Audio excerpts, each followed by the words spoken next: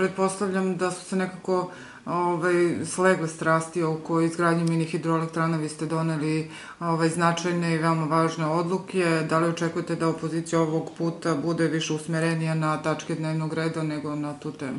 Pa ne mogu ja sada da kažem da ovaj, s koje strane oni ima da biju.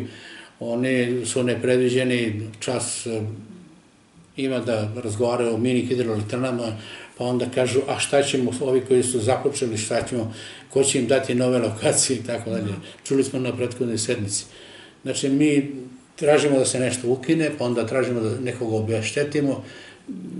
Ja ih malo i ne razumem, ali smatram lično da to što smo doneli na samoj sednici da je to bilo u redu i da vidjet ćemo dalje ponašanje vlade Republike Srbije, restornih ministarstava, šta će oni dalje da urade, da li će staviti totalnu zabranu ili će te lokacije dobiti neka, neke nove lokacije van parka prirode, o tom potom vidjet ćemo, jer tu se stvarno momentalno ništa ne zna.